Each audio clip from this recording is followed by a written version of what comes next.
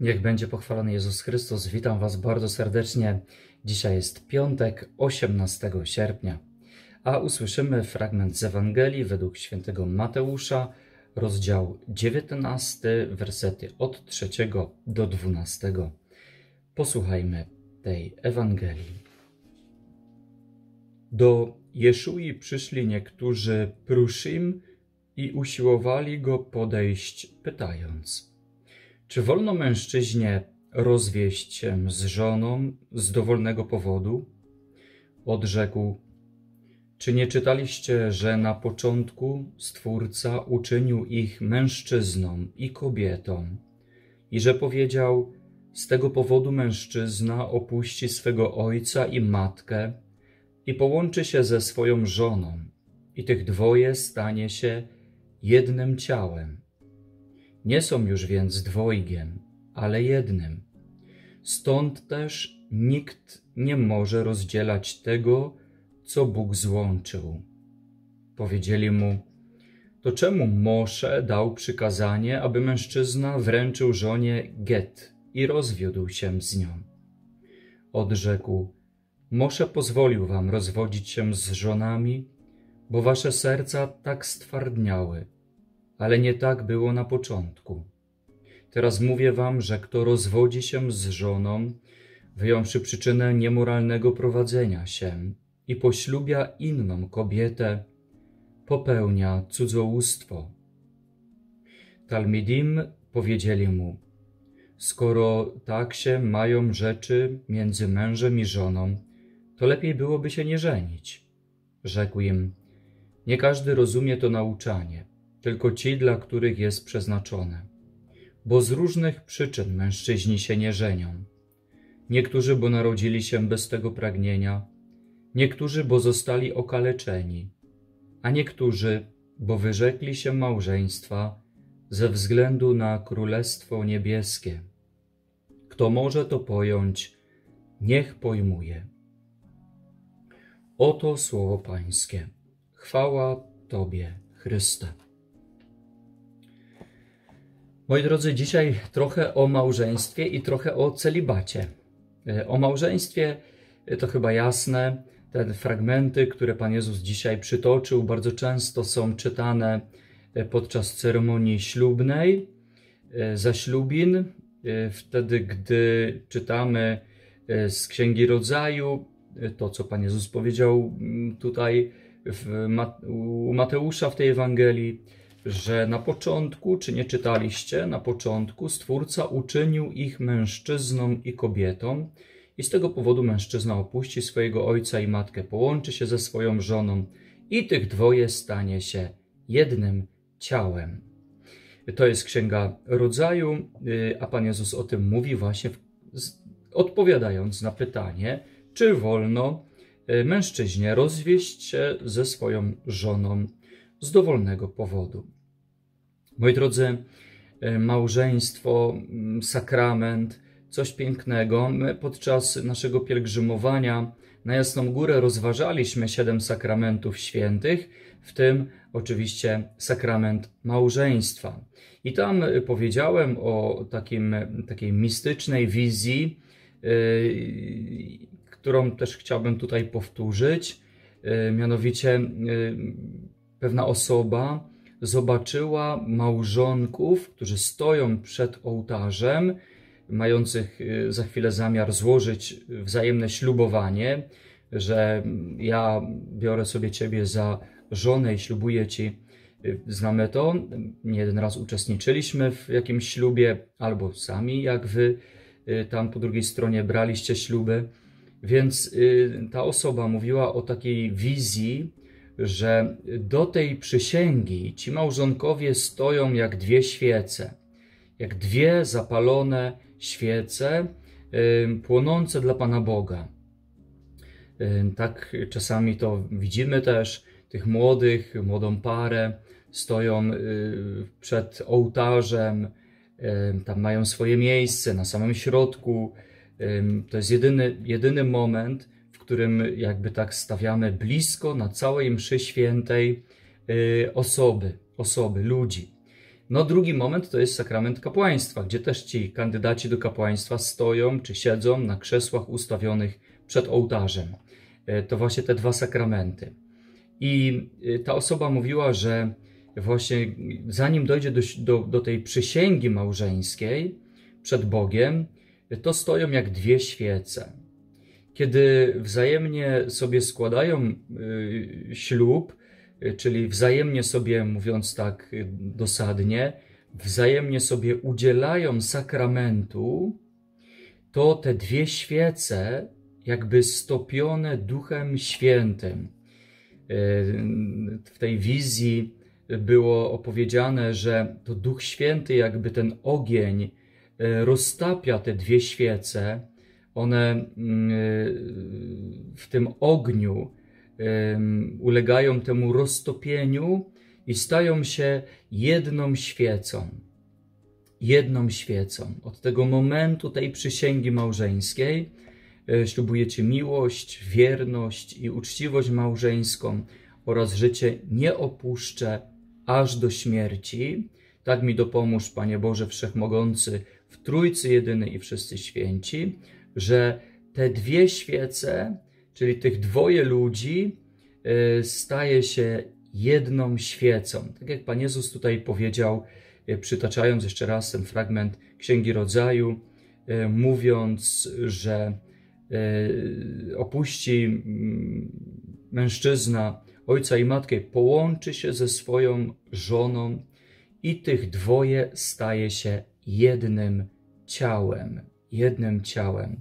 I to jedno ciało po przysiędze małżeńskiej e, symbolizowało w tej wizji jedną świecę, stopioną i na nowo jakby e, ukonstytuowaną w jedną świecę, płonącą dla Boga, jako jedno święte małżeństwo, związek mężczyzny i kobiety płonący dla Boga na Jego chwałę, ale też i w komunii, czyli w tej służbie e, dla innych, dla zrodzenia dzieci, wychowywania dzieci, bo to przecież z rodzin jest stworzony Kościół, jest stworzone społeczeństwo e, i to jest w takim zamyśle Pana Boga, w tym pomyśle Pana Boga najpiękniejszy obraz też Jego miłości jako Trójcy Świętej.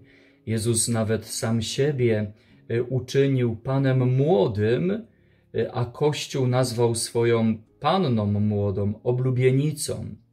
Więc sam Bóg się porównuje do małżeństwa. Tak, tak wielkim i cennym jest to y, skarbem dla nas, ludzi żyjących na tym świecie, małżeństwa. Stąd nic dziwnego, że szatan próbuje na wszelką y, jakąś różną, ze, wszelki, ze wszystkich sił, próbuje to małżeństwo osłabić, ośmieszyć, rozbić, e, a nawet jakoś w jakiś karykaturalny sposób pokazywać, że są jeszcze inne formy e, tak zwanych małżeństw homoseksualnych czy związków jakichś. Pan Bóg uczynił mężczyznę i kobietę po to, aby byli jednym ciałem, aby byli właśnie tą jedną świecą płonącą dla Niego. Więc, kochani, jeszcze raz docencie też wasze małżeństwa, sakramentalne małżeństwa. Dziękujcie za nie Panu Bogu. E, też przekazujcie młodym piękny wzór życia w małżeństwie. Nie taki serialowy, ale prawdziwy wzór życia w małżeństwie. Podczas pielgrzymki e, byliśmy u, gospodarzy, którzy nas przyjmowali, a w tym roku mieli 50 lat e, właśnie od ślubu. 50 lat życia małżeńskiego. Zapytałem ich, jak to pięknie uczynić i zrobić, żeby wytrwać tak długi czas. I ta pani powiedziała: Proszę ojca, małżeństwo to jest wzajemne ustępowanie sobie. Gdyby jedno i drugie poszło tak w zaparte, dawno by już nas nie było. Więc w małżeństwie wzajemnie musieliśmy sobie ustępować, no i w ten sposób dożyliśmy tego pięknego jubileuszu 50 lat. E, więc tak, to jest taki y, wzajemny też trud, ale i piękno, cudowne piękno, pobłogosławione przez Pana Boga. I moi kochani, powiedziałem, że będzie też o celibacie, dlatego że Wielu ma czasami takie swoje jakieś dziwne e, wątpliwości wobec e, nas, kapłanów, żyjących właśnie w bezżeństwie, bez żon, żyjących samotnie i niektórzy jeszcze, nie znając totalnie historii Kościoła, próbują podważyć, mówiąc, że to Kościół sobie wymyślił, że tak nie było, co jest oczywiście bzdurą. Owszem, w którymś momencie zostało to jakby oficjalnie zapisane w prawie kanonicznym, no ale cała tradycja życia w, właśnie w bezżeństwie, w celibacie wywodzi się od samego Pana Jezusa. I w tym dzisiejszym fragmencie mamy to mm, powiedziane tutaj, czyli na słowa znowu tutaj Piotra, który podszedł i, i czy uczniów, którzy podeszli i powiedzieli Panu Jezusowi, jakby komentując trochę tą naukę o małżeństwie, że skoro takie są może i wymogi, tak trudno Y, żyć w tym małżeństwie z jedną żoną, to może nie warto lepiej się było się nie żenić. Dosłownie taki jest tutaj dziesiąty, roz, dziesiąty werset. Y, a Pan Jezus powiedział, że nie każdy rozumie to nauczanie. Nie każdy, też w kontekście dzisiejszego, y, dzisiejszej wierności, a nie rozwiązłości cudzołóstwa. Możemy też powiedzieć, nie każdy rozumie to nauczanie, ale nie łudźmy się. Tak było za czasów Jezusa i tak będzie do końca świata.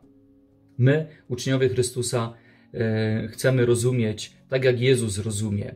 I w kontekście małżeństwa, i w kontekście e, życia bez żeństwie, w czystości, w celibacie. I Pan Jezus powiedział, że z różnych przyczyn mężczyźni się nie żenią. Dokładnie dwunasty werset tak jest i wymienia te przyczyny. Podał ich akurat trzy takie przyczyny. Niektórzy narodzili się bez tego pragnienia, myślimy nawet o osobach niepełnosprawnych, w różny sposób e, też psychicznych ograniczeniach. Narodzili się po prostu bez takiego pragnienia i trudno powiedzieć, dlaczego oni, oni nie biorą żony, nie biorą męża. Drugie, niektórzy, bo zostali okaleczeni, zostali zdemoralizowani przez tych, którzy ich wychowywali. E, też są to różne sytuacje, nawet dzisiaj myślę, że coraz więcej jest takich zdemoralizowanych młodych ludzi, którzy byliby y, pięknymi, wspaniałymi kandydatami i kandydatkami do zamąż pójścia, do wzięcia ślubu, ale ze względu na demoralizację, na niedojrzałość, na uwikłania też niejednokrotnie jakieś seksualne, e, porządliwości, cudzołóstwa, no, są zdemoralizowani i Pan Jezus mówi, zostali okaleczeni. Yy, nie, nie potrafią zawrzeć normalnego związku, założyć normalnej rodziny, no bo jak cały czas się wpatrują w pornografię albo odwiedzają domy publiczne, czy te panie biedne i nieszczęśliwe i pogubione, które stoją przy tych różnych krzakach, ulicach, to, no to są niezdolni do tego, żeby po prostu potem mieć jedną kobietę, jedną żonę, z nią założyć rodzinę i żyć normalnie, bo oni się nadają do leczenia psychiatrycznego, psychicznego, y, a dopiero później być może by się nawet udało jakiegoś takiego człowieka jeszcze po uzdrowieniu duchowym y, i Jezusowym puścić do, do ślubu. Więc Pan Jezus wymienia drugą kategorię i w trzeciej kategorii tych nie, nie, niezdolnych, czy tych, którzy, mężczyzn, którzy się nie żenią, Pan Jezus mówi, bo wyrzekli się małżeństwa ze względu na Królestwo Niebieskie. Bo wyrzekli się małżeństwa, to nie dlatego, że nie mogliby za, y, y, wziąć ślubu, bo właśnie są tak jak dwie wcześniejsze te postawy osób, ale ze względu na to, że wyrzekli się małżeństwa na królestwo, ze względu na Królestwo Niebieskie, na Królestwo Pana Boga. Bo w niebie już nie będziemy się ani żenić, ani za mąż wychodzić, dlatego jesteśmy w pewnym sensie znakiem Królestwa Bożego, Daj, Panie Boże, aby było wielu świętych kapłanów, którzy to, to cenią, e, to też żyją w łasce czystości, a nie w jakimś podwójnym życiu e, i którzy potrafią właśnie e, to przyjąć jako dar ze względu na Królestwo Niebieskie. Ale proszę bardzo, celibat, życie bez, w bezżeństwie, bez żon, mężczyzn, którzy się nie żenią, E, jeśli jeszcze raz ktoś by myślał, że to sobie Kościół gdzieś tam wymyślił w którymś momencie i że to jest nienormalne, to od takiego człowieka odeślijcie do Ewangelii. Mateusz Ewangelia według świętego Mateusza, chociażby Ewangelia według świętego Mateusza, 19 rozdział, werset 12. Kończy Pan Jezus, kto może to pojąć, niech pojmuje. A kto nie może tego pojąć, niech głupim zostanie do końca swoich dni, jak nie prosi o łaskę mądrości Pana Boga. Pan z wami, niech was błogosławi Bóg Wszechmogący, Ojciec i Syn i Duch Święty. Amen. Idźcie w pokoju Chrystusa. Bogu niech będą dzięki. Życzę wam błogosławionego, pięknego dnia wszystkim małżonkom, coraz większej miłości wobec siebie, a wszystkim celibatariuszom, czy siostrom zakonnym, czy kapłanom żyjącym w stanie e, dziewictwa, ślubów czystości. Życzę radości e, i mocy płynącej e, z głoszenia dobrej nowiny wszystkim ludziom. Z Panem Bogiem i do jutra, jeśli Bóg da. Szczęść Boże.